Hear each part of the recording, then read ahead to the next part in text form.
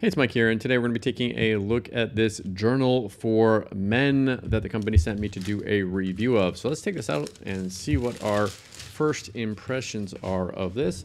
So it's got a nice feeling. Uh, feels like a like a leather uh, type of feeling here. It's got this little clasp uh, on it. So I'm going to show you how that works. It just kind of opens up like that. It seems like a like a magnet type situation here for that. So we open it up, and inside it looks like this. So kind of a, little bit of like a brownish type of page here.